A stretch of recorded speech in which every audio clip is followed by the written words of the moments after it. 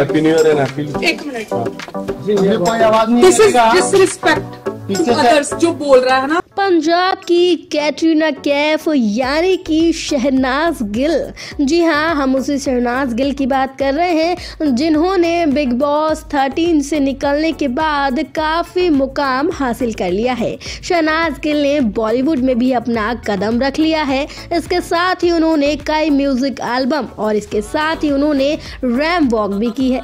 जी हाँ दोस्तों, इतना कुछ हासिल करने के बाद भी अब उन्हें ट्रोल कर दिया गया है। जी हाँ शहनाज को अब कुछ ट्रोलर्स ने ट्रोल कर दिया है वो भी उनकी इंग्लिश को लेकर। जी हाँ बिल्कुल सही सुना आपने।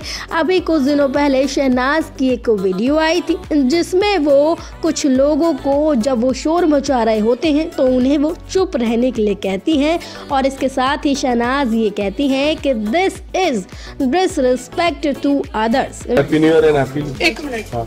मुझे कोई आवाज़ नहीं दिस इज़ डिसरिस्पेक्ट अदर्स जो बोल रहा है ना you have to listen and उनको बोल के चुप रहो जी हाँ इतने में ही ट्रोलर्स ने उन्हें पकड़ लिया और उनको ट्रोल करने लगे उनकी इंग्लिश को लेकर।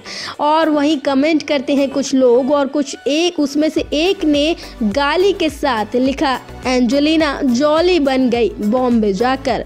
पंजाब विच कुत्ता नहीं पुछदा जी हाँ ये है ट्रोलर्स का कहना। वही एक और कमेंट आया, जिसमें लिखा, तू इंग्लिश ना बोलिया कर डिसरिस्पेक्ट और हँसी वाली मोजी भी इसके साथ लगाई गई। और एक ने तो ये तक लिख दिया, सलमान भाई की गर्लफ्रेंड में इतना एटीट्यूड आपको बता दें कि इस वीडियो को पंजाब की एक फ़ेमस वेबसाइट पर शेयर किया गया और वहीं इसको ट्रोल भी कर दिया गया। तो दोस्तों, अब वो कहते हैं ना, आप ज़िंदगी में कितना भी कुछ हासिल कर लो, लेकिन आप सबको एक साथ खुश नहीं रख सकते।